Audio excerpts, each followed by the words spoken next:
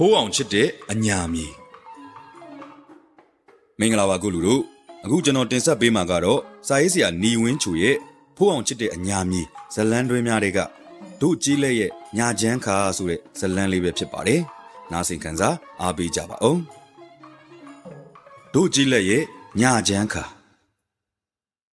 ကြီးလက်တဘာဝလို့ပြောတာနဲ့ညအခါကာလလေးဒီမှာ ဘယ်လိုပျော်ရွှင်စွာဖြတ်တန်းကြတယ်လဲဆိုတာကိုစိတ်ဝင်စားစရာတခုလို့ရေးဖွဲ့ကြလိရှိတယ်။အထူးသဖြင့်တီထွင်ဖန်တီးမှုတွေသိမ့်မပါတဲ့တဘာဝတရားစစ်စစ်နဲ့မိတ်ဖွဲ့ရင်းလူတတော်တို့ရဲ့ပျော်ရွှင်မြူးထူးနေထိုင်ကြပုံလေးတွေဆိုပါတော့။ကြီးလက်ဟာအရင်ဆန်းတယ်လို့ကြီးလက်ရဲ့ညတွေဟာလေလူသားတဘာဝရဲ့စစ်မှန်တဲ့ပျော်ရွှင်မှုနဲ့ခေတ်ကာလရာစုနှစ်များစွာထုံမွှမ်းနေခဲ့ပါတယ်။ဖိုးအောင်ရဲ့ငယ်ဘဝကြီးလက်ညတွေဟာအေဂျင့်နဲ့လာရောင်ကြီးအောက်မှာမြူးတူးစော့ကစားရင် ချစ်လာစွာသောဦးလေးရဲ့ပုံမြင်တမိုင်းဒန္နာယီပဟေလိပု္ပ္ပာညံစမ်းများစွာနဲ့စိတ်လှုပ်ရှားတက်ကြွနေခဲ့ပါတယ်။ဦးလေးကစကားပြောကောင်းတယ်လို့ဘယ်အချိန်ဘာစကားတွေပြောမယ်ဘယ်နေရာမှာဖြတ်ပြီးဘူအောင်တို့ရဲ့စိတ်ဝင်စားမှုကိုနှိုးဆွမယ်တွေးတောစေမယ်ဆိုတာကျွမ်းကျင်လာတဲ့သူပါ။ရွာရဲ့ပတ်ဝန်းကျင်အနေထားလေးနဲ့အံဝင်ခွင်ကြအောင်တမိုင်းပုံမြင်တွေနဲ့ဆက်ဆက်ပြတတ်ပါတယ်။လက်ညှိုးညွန်ရရေးဖြစ်တဲ့ပကံခစ်အလောင်းစီသူမင်းရဲ့ ဖောင်တော်နဲ့တိုင်းကန်လှည့်လဲပုံအနီးနားရွာစဉ်တစ်လျှောက်မှာရှိတဲ့ဖောင်တော်ဦးဖျားရဲ့တီနေရနဲ့ဆက်ဆက်ပြီးဇက်စုံခင်းပြတတ်သူပါဖိုးအောင်တို့သွားနေကြရွာအနောက်ဘက်စီကကြောက်တော်ကြီးတွေဟာအလောင်းစီသူမင်းဖောင်ဆက်ကြာနဲ့လာခဲ့တဲ့လမ်းတွေများလားလို့ငယ်ဘဝတွေကဖိုးအောင်တို့တွေးမိခဲ့ကြတယ်ဂုံယူမိတဲ့ခံစားချက်တွေကိုရွာလေးဟာအတိတ်တစ်ခုမှကြီးကျယ်ခဲ့ပါလားလို့တွေးမြင်မိတဲ့ခံစားချက်တွေဖြစ်လာခဲ့ဘူးတယ် ဓာထန်ဒုတ်ထန်ပြောရတဲ့ပကံခစ်မင်းအဆက်ဆက်ဖြစ်ပျက်ခဲ့တဲ့ဗဇက်ရာဇဝင်သမိုင်းတွေကိုရုပ်တိကြကြဆက်ဆက်ပြောပြခဲ့တယ်။အဲ့ဒီညတွေဟာစိတ်ဝင်စားစရာအတိတ်ကိုပြန်လွမ်းစရာအနာဂတ်အတွက်တွေးတောမျှော်လင့်ခြင်းများစွာဖြစ်ခဲ့တယ်။ဦးလေးဟာအမေတို့မောင်နှမ9ယောက်မှနှုတ်ညာအမိအထက်ကကက်ရဲ့အကူပါ။သာတင်ကျောင်းနေမဖွံ့ဖြိုးသေးတဲ့ကာလကျေးလက်မှာကြီးပြင်းခဲ့ရတာမို့အတန်းပညာမြင့်မြင့်မမမရောက်ခဲ့ပြီမဲ့သူ့အချိန်ကာလကချစ်ချင်းမြင့်မြင့်ရှိသူ ဘ ഹു တုတကျွေသူရွာမှာတော့လက်သမားအတက်စက်မှုအတက်ကျွမ်းကျင်သူပါအဲ့ဒီအချိန်ကရွာရဲ့ကြေးရွာရဲ့ရရှိရေးအဝီစီတွင်ကိစ္စအပါဝင်စက်အင်ဂျင်နဲ့ဆိုင်တဲ့အရာအလုံးဟာဦးလေးရဲ့တာဝန်ယူဆောင်ရွက်မှုတွေနဲ့မကင်းပါဘူးဖိုးအောင်တို့တည်တဲ့စ TV ပေါ်ဦးကာလမှာရွာကို TV ရောက်အောင်တည်ပြီးအများကြည့်ဘူးအောင်အဦးဆုံးငှားပြခဲ့သူပါဟိုတုန်းကဦးလေးရဲ့စာအုပ်တွေကိုဖွာကြည့်တော့သိပ္ပံဇီဝဗေဒနဲ့ဆက်ဆက်တဲ့စာအုပ်တချို့ရှိသလို အင်္ဂလိပ်စကားပြောစာအုပ်တွေလည်းတွေ့ရတယ်။အတန်းပညာအရဘလို့မှမရနိုင်သေးတဲ့ဗဟုသုတတွေကိုဦးလေးရှာမိခဲ့ပါလားလို့အခုချိန်မှာတွေးမိနေတယ်။ဘယ်မှာနေရတယ်၊ဘာလုပ်နေရတယ်ဆိုတာထက်ဘာတွေစိတ်ဝင်စားနေလဲ၊ဘာတွေလေ့လာနေမလဲဆိုတာအရေးကြီးပါလားလို့တွေးမိခဲ့တယ်။အခုဆိုဦးလေးဆုံးခဲ့တာတော့နှစ်20ကျော်ခဲ့ပြီ။လူဘဝကိုအကြာကြီးနေမသွားခဲ့ရတဲ့ဖိုးအောင်ချစ်ရတဲ့ဦးလေးပါ။တချင်းတွေကြိုက်တတ်တဲ့ဖိုးအောင်ဟာဦးလေးနဲ့နေတော့ ကိုအန်ကြီးကိုနှစ်သက်နေရီဝလာခဲ့တယ်။အဲ့ဒီအချိန်ကမမရေးပြန်ဆိုတဲ့လေဘာဒီမမြရင်တချင်းတွေကိုဆွဲလန်းသွားခဲ့တယ်။ညဘက်ရေဒီယိုမြမအတန်ကမြမပိုင်းအစီအစဉ်တွေသိမ့်မိမှလာတဲ့အင်္ဂလိပ်တချင်းတွေနားထောင်ခဲ့ဘူးလေ။ပြီးတော့ဦးလေးကနွားချောင်းသားတချင်းကိုအတန်ဒီအတန်ထားနဲ့ဆိုပြဘူးလေ။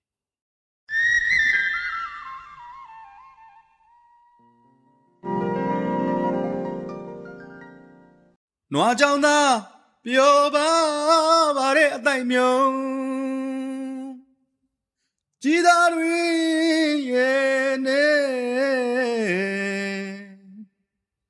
ကတိမဒါသာဝတ်တဲ့ကွယ်မီမီပုတဲ့ခုံနဘူးယုံစူးကြုံနဲ့ຫນွေရန်တဘူးတပဲပဲနဲ့ နွားတငယ်မိခင်ပြောက်ရှာရောစင်ရတာစင်ရတာလမ်းဆိုတဲ့ခြေစင်းလေးနဲ့စတဲ့ချင်း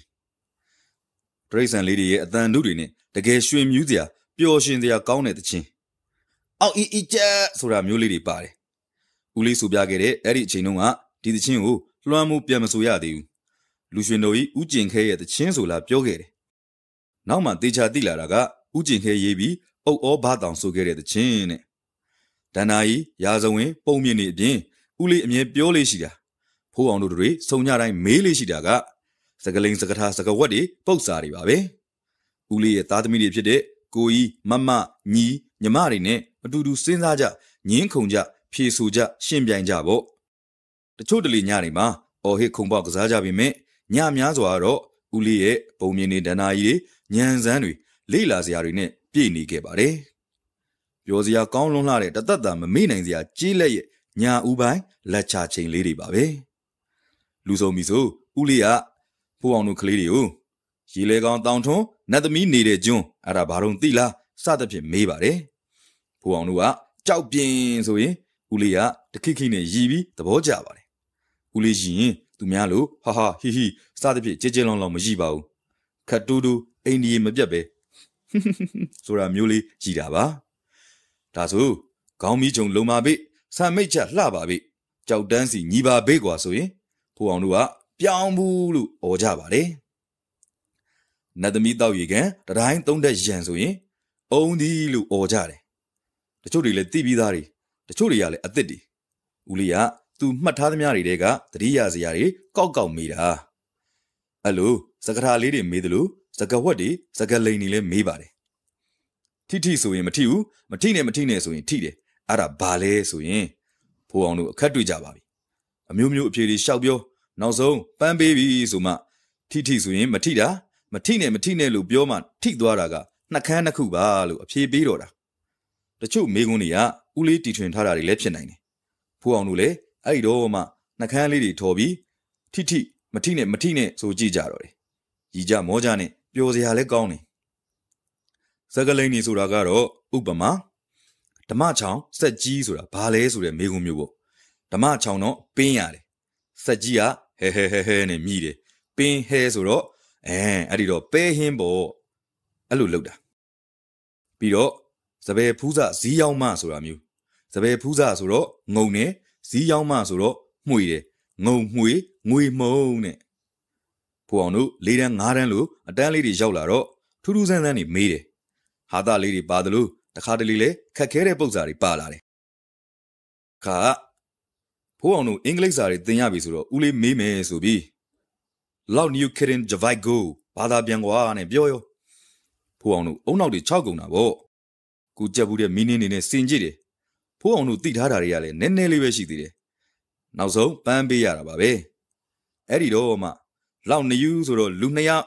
get in ဆိုတော့ကင်းတယ်ဂျပိုက်ကူကကြဘိုးကြိုက်တာပါဗျာဆိုပြီးခိခိခိခိနဲ့ရီပါတော့တယ်ဖိုးအောင်တို့ပျော်အောင်စပြီးမြူးရွှင်လာအောင်လုပ်ပေးပြီးတဲ့နောက်ဦးလေးရဲ့ညံသားပါတဲ့မိကွန်းလေးတွေလာပါတော့တယ်အလန်တရာမွေတွင်းဝမှာခွေတညမှာလက်နှစ်သစ်ကျမတက်ကရစ်ပါတဲ့ဆိုပြီး စီမီထွန်းတဲ့မီးစာလေးရဲ့အရှိကိုတွက်ခိုင်းပြီးဘလောက်တာရှိခံမလဲမေးပါတယ်စီမီမိခွဲရဲ့မီးစာကအလန်တရာရှိတယ်တညကိုလက်နှစ်သစ်ကုန်တယ်အဲ့ဒီမီးစာဘလောက်ကြာကြာခံနိုင်မလဲအဲ့ဒီချိန်ကဖိုးအောင်တို့ရှိမှထွန်းထားတာကလေရေနံစီစီမီခွက်တွေဆိုတော့ဇက်ကြောင်းကရှင်းပြစရာတိတ်မလို့တွက်ဖို့ပဲရှိတာအဲ့ဒီတော့မှမြမရိုးရအတိုင်းတာတွေသိဖို့လိုလာတယ်တကယ်တော့ဦးလေးကသူမေးပြီးသူပဲပြန်ရှင်းပြတာပါပဲသင်ပေးခြင်းလို့ကို မေးခွန်းအနေနဲ့မေးတာမဟုတ်လားတလန်မှာ4000ရှိတယ်တထောင်မှာ3မိုက်ရှိတယ်တမိုက်မှာ8လက်သစ်ရှိတယ်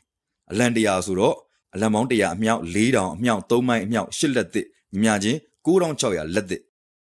တညမှာ2လက်သစ်ကုန်တယ်ဆိုတော့9600အစား2ညီမချင်း4800ညနှစ်နှစ်လဖွဲ့ဖို့ဆက်တွက်ကြည့်တော့73နှစ်နဲ့4လရတယ်ဆိုလိုတာက အဲ့လောက်မီးစာအရှိနဲ့ဒီစီမီးကွက်က73နှစ်နဲ့4လတိတိတက်ကရစ်အသက်ရှိတယ်ထွန်းလို့ရတယ်ဆိုတဲ့အဖြေရတယ်ဖိုးအောင်တို့ကလာတာတာမှာမြေကြီးပေါ်ထိုင်ပြီးဒုတ်တွေနဲ့ချစ်တွက်ကြတာပေါ့ဦးလေးကတော့ဘာနဲ့မြောက်လိုက်လीဘာနဲ့စားလိုက်လीနဲ့အဖြေရအောင်ကူညီပေးပါတယ်ခိုခွဲဝမ်ဘဲငါးချက်စာတမတ်ကောင်အစိတ်ငွေအစိတ်နဲ့ရအောင်ဝယ်ပါဆိုတဲ့မိကွန်းမျိုးလေးမေးတယ်မိကွန်းကခိုတကောင်နှစ်ချက်ခွဲ ခိုခွဲလိုပဲအတူပြောတယ်ဝမ်ဘဲတကောင်ငါးချက်စားတကောင်တမတ်စုစုပေါင်း25ကောင်ရအောင်ငွေ25ချက်နဲ့ဝယ်ပေးပါလို့မေးတာဘယ်ငှက်ကိုဘယ်နှကောင်ဝယ်မှလဲတွက်ခိုင်းတာအဲ့ဒီတော့ဖိုးအောင်တို့မောင်နှမတွေမြေကြီးကိုဒုတ်တွေနဲ့ချစ်ပြီးတွက်ကြပြန်ရောခိုးတကောင်ဝယ်နှစ်ချက်ခွဲကုန်သွားပြီနှစ်ကောင်ဆို5ချက်ဝမ်ဘဲဘဏ္ဍကောင်ဝယ်မလဲစာကလေးဘဏ္ဍကောင်ဝယ်မလဲပေါ့တကယ်တော့တော်တော်တွေ့ယူရပါတယ်တင်ချအခြေခံဒီဖော်မြူလာတွေလည်းမသုံးတက်သေးတဲ့အချိန်မှု ဖြတ်ထိုးညံနဲ့အုံနောက်ဘလောက်ရွှင်လဲတွေးခေါ်နိုင်လဲဆိုတာအဓိကကျသွားပါတယ်တကယ်တော့ဖိုးအောင်တို့အတန်းကြီးကြီးလာမှတိလာရတာဦးလေးမေးတဲ့မေးခွန်းတွေဟာမတိကိန်းထားပြီးတွက်ရတဲ့ပုံစံတွေပါဒါပေမဲ့ဦးလေးလည်းမတိကိန်းဖော်မြူလာတွေနဲ့တွက်ခဲ့တာဟုတ်ချင်မှဟုတ်မှာပါဖိုးအောင်တို့ဒီအတိုင်းပဲစိတ်တော့နဲ့တွက်ပြဖြေပြခဲ့ပါတယ်ဦးလေးကမြေကြီးပေါ်တော့ဒုံနဲ့မချစ်ပါဘူးတခါတလေလေတန်းရပေါ်မှာတုံးလုံးပလက်လှဲရင်တခါတလေလေတမြင်ချိတ်ပြီးတော့ရင်နွေးချမ်းတောက်ရင် တခိခိရီရင်နှုတ်နဲ့ပဲတွက်ပြပေးသွားတာပါအဲ့ဒီပု္ပ္ပာရဲ့အဖြေကခိုးနှစ်ကောင်ဝမ်းမဲ3ကောင်စာအကောင်20ပါအဲ့လိုဆိုငှက်က25ကောင်အတွက်ငွေ25ကျပ်ကြိုက်ပါတယ်ဖိုးအောင်တို့အတွက်ခက်ခဲခဲ့တာကစာကမ်းမာလေးပု္ပ္ပာပါစာကမ်းမာလေးကအပင်ပေါ်နားနေတော့စာကလေးအုပ်ကြီးတအုပ်ရောက်လာပါတယ်အဲ့ဒီတော့စာကမ်းမာလေးကနင်တို့ဘယ်နှကောင်ပါလဲလို့မေးတယ်အဲ့ဒီတော့စာအုပ်ကြီးတွေကတကောင်က ဒိုးစိတ်ဒိုးဆဒိုးဝက်နေမှာပေါင်းမှတရားဟေးလို့ပြန်ဖြေတဲ့စာကလေးအုပ်ကြီးကစုစုပေါင်းဘယ်နှကောင်ရှိလဲတွက်ရမှာပါဒိုးစိတ်ဆိုတာဒိုးတအုပ်လုံးရဲ့တစ်စိတ်လေးပုံပုံတစ်ပုံဒိုးဆဆိုတာဒိုးရဲ့နောက်ထပ်တစ်စဒိုးဝက်ဆိုတာဒိုးအရေးအတွက်ရဲ့တဝက်အဲ့ဒါကိုနေမှာပေါင်းဆိုတော့တစ်ပေါင်းရမှာပေါ့စာကမ်းမလေးရတကောင်လေးကိုအဲ့ဒီလိုစုစုပေါင်းပေါင်းလိုက်ရင်တရားရမယ်လို့ပြောတာ တင်ချာသဘောနဲ့ပြောရင်တော့စာကလေးအုပ်ကြီးရဲ့အရေးအတွက်ကိုမတိကိန်း x ထားပြီးတွက်ရမှာပေါ့ဦးလေးကတော့စိတ်တွက်နဲ့ပဲသူ့မိကွန်းကိုဖိုးအောင်တို့စိတ်ထဲမှာရှင်းသွားအောင်လက်ဖက်ရည်ချမ်းတောက်ရင်ရှင်းပြပေးသွားခဲ့ပါတယ်အခုချိန်မှာတော့ formula နဲ့ဖိုးအောင်ချရေးပြီးတွက်တတ်ပါပြီဒီညီမျှချင်းမှာမတိကိန်း x ရဲ့တန်ဖိုးကိုရှာလိုက်ရင်စာကလေးအုပ်ကြီးရဲ့အရေးအတွက်ကိုရမှာပါ equation လေးချရေးကြည့်ရင်ဒီလိုဖြစ်မယ် 1/4x plus 2x plus 1/2x plus 1 equal to 100ရေတွင်းထဲကိုကျိုးတစ်ချောင်းချကြည့်တဲ့အခါအဖြောင့်ချတော့တဒေါင်ပုံနေတယ်ကျိုးတဝက်ခောက်ပြီးမှချတော့တဒေါင်လိုနေတယ်ကျိုးကဘလောက်ရှိသလဲရေတွင်းကဘလောက်နှက်သလဲတဲ့မသိဂိမ်းနေပဲလောက်ထားတာဖိုးအောင်တို့စဉ်းစားရတာပေါ့အဖြေသိပြီးသူတွေအတွက်လွယ်ပေမဲ့အခုမှစပြီးစဉ်းစားသူတွေအတွက်အဖြေရောက်လာအောင်တည်ရတာခက်ပါတယ်ကနန်းနေအမျိုးမျိုးအစားထိုးကြည့်ရတာဒါလည်းမသိဂိမ်းထားတော့ရမယ်ပု္ပ္ပာပါပဲ ဇာကမ်းမလေးကမသိဂိမ်းတစ်လုံးထားယူနေရတယ်ရေတွင်းနဲ့ကျိုးချတဲ့ပု္ပ္ပာကြမသိဂိမ်းနှလုံးထားရမှာပါကျိုးအရှိကို H ထားရေတွင်းအနက်ကို Y ထားပြီးချတွက်နိုင်ပါတယ်အဲ့ဒီတော့က equation တွေပါတယ်မသိပေမဲ့မောင်နှမတွေတွတ်ထိုးကြရင်နောက်ဆုံးတော့အဖြေရပါတယ်ရေတွင်း3000ကျိုး4000ပါဦးလေးရဲ့အိမ်သူအကြီးကတော့ဦးလေးကဖိုးအောင်တော်တော်အားထားကြောင်းအမြဲပြောပါတယ်ပညာရေးကိုဒီဇိုင်းမမလုပ်တဲ့သူ ဆွေမျိုးသားချင်းတွေကြားမှာကျောင်းစာကိုဆုံးငန်းတိုင်အောင်သင်ယူသူတူဖြစ်တဲ့အတွက်သူ့တူဖိုးအောင်ကိုအများကြီးမျှော်လင့်ခဲ့ပုံရပါတယ်အဆအဆညံပွင့်အောင်သင်ပေးပြီးတွေးနီးခေါ်နီးတွေအတိတ်သမိုင်းမှာပုံမြင်တဏ္ဍာရီတွေကိုငငယ်ကလေးကဘလို့ရည်ရွယ်ချက်တွေနဲ့ဦးလေးကဖိုးအောင်တို့မောင်နှမတို့တွေကိုဒီဇိုင်းမမတ်ပြောပြပြီးနှိုးဆွခဲ့တာပါဖိုးအောင်တို့တွေအဲ့ဒီအတိတ်တစ်ခုမှာတည်ကျင်စိတ်တွေဖွံ့ဖြိုးပြီးညံအလင်းတွေပွင့်ခဲ့တယ်လို့ပျော်ရွှင်ကြည်နက်ကြည်နူးခဲ့ကြတာတော့ တေချာလွန်းခဲ့ပါတယ်